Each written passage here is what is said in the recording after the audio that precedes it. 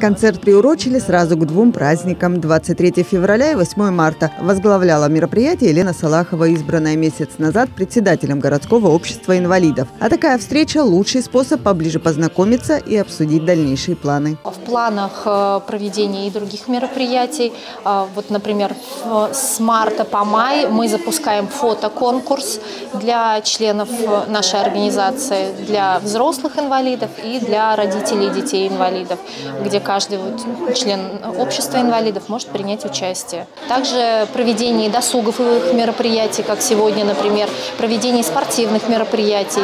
Члены общества могут принимать участие не только в наших городских мероприятиях, но и в зональных, республиканских и даже во всероссийских мероприятиях. Они искренне улыбаются и от души приветствуют участников концерта, артистами которого выступают волонтеры «Октавы» и сами члены общества. Но мало кто знает, с какими трудностями им приходится сталкиваться ежедневно ежедневно. Задача общества – это поддержка вообще инвалидов, объединение. А, Нефтекамская городская, а, городская организация, она объединяет инвалидов, проживающих на территории города Нефтекамск, как несовершеннолетних, так и совершеннолетних.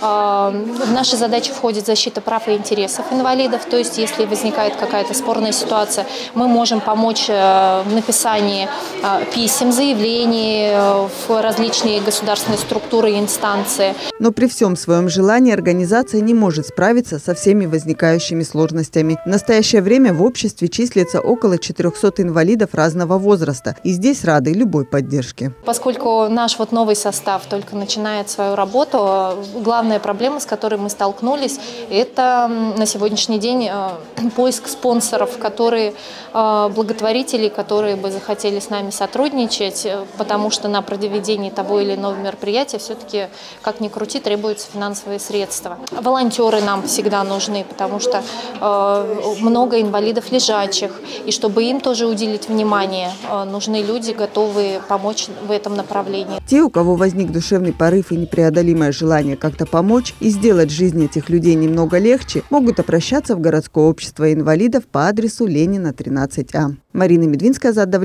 Время новостей.